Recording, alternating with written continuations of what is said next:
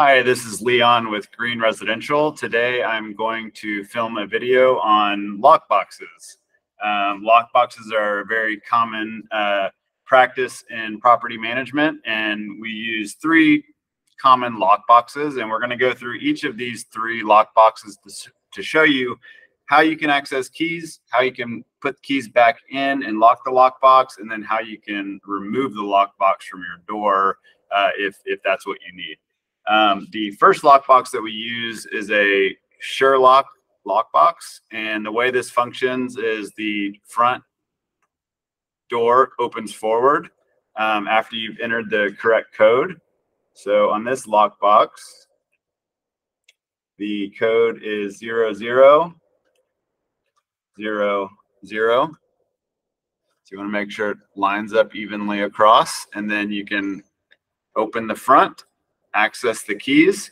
Um, one important thing to note is that sometimes the keys, if there's multiple keys, will get jammed and, and make it difficult to unlock. So you want to shake the uh, the lockbox to make sure that the keys are all free from the locking mechanism. Um, once you've taken the keys out, you can close the lockbox. You'll um, access the house.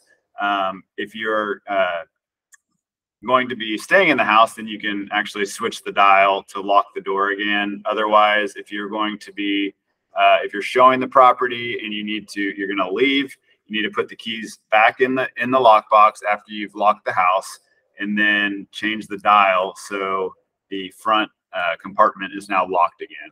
Now, if you need to remove the lockbox from the door, then there's a separate code um, to unlock the latch. And so for this one, the code is 7777.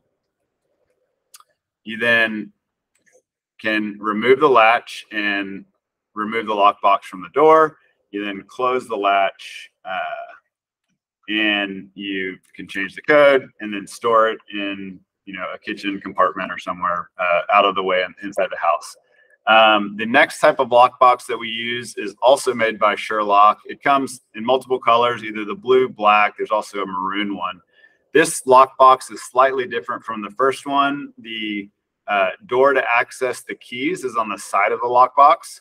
So what you'll do is you will get an access code. You'll put that code here. So this one is 3333 put that code in, make sure it's lined up all across the middle, and then go to the side.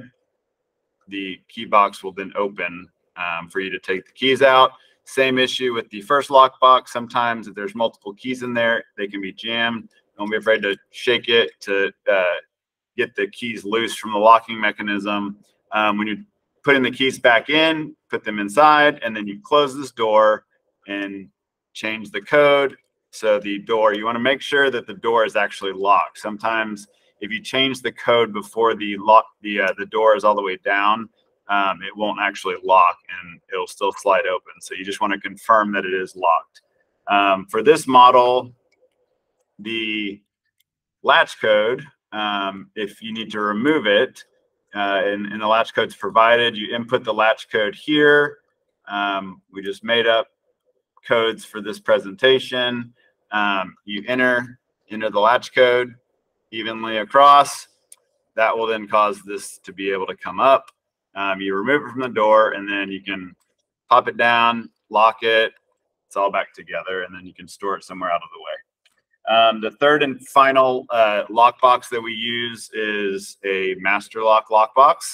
And this one functions a little bit differently. Um, so if you're given a code, this one, let's say, is zero, zero, zero, zero. You enter it the same way across where it's even, everything's lining up, and then you hit this little side button, and then it opens the door. You can remove the keys. When you're done, you can put the keys back in. You can close it and then change the dial and lock it. If you need to access the latch, this one is a little bit different. You don't need to change the code here. There's actually a tab at the top of the lockbox that you can pull towards the inside of the lockbox, and then it just releases the upper latch. Uh, to uh, to to uh, reattach, you just put push it down, and then you close the lockbox, and then you can change the dial, and you're all set. So that's Lockboxes 101.